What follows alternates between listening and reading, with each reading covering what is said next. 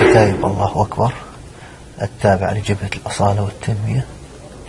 في محيط مطار دير الزور العسكري